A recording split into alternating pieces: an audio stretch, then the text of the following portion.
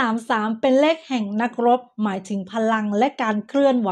ใครที่เป็นนักกีฬานะคะ เลขนี้จะเหมาะมาก ๆ แต่ใครเป็นนักกีฬาหรือการงานที่ต้องใช้ในเรื่องของพละกำลังเป็นช่างใช้เลข 55 จะส่งผลให้เป็นคนที่เฉื่อยชาไม่ค่อยมีกระจิตกระใจในเรื่องของการทำงาน การใช้ตัวเลขก็มีผลกับชีวิตของคนเรานะคะ วันนี้ใครมีเลข 33 บ้างเอ่ย33 จะเหมาะสำหรับคนที่เป็นนักกีฬา หรือคนที่ทำงานต้องใช้แรงงาน หรือการทำงานที่ต้องอาศัยแรงอึดนิดนึง แต่ถ้าใครอยากได้เด่นในเรื่องของการเงินนะคะ ต้องเพิ่มพุทธคุณณเมตตาเป็นตัวช่วยค่ะ นอกจากจะใช้ทางลัดในเรื่องศาสตร์แห่งตัวเลขแล้ว ยันคาถาก็เป็นอีกหนึ่งความลับนะคะ ที่จะนำพาแต่ความโชคดีในเรื่องของการเงินให้ อย่างยันนำโชคนี้นะคะ เหมาะสำหรับคนที่เบอร์โทรศัพท์ไม่เป็นมงคล หรือเอ๊เป็นมงคลและการเงินไม่ดีขึ้น จะมีพุทธคุณเสริมการเงิน โชคลาภณเมตตาช่วงนี้ใครรับไปพินมีของแถมให้ และมีความลับส่งให้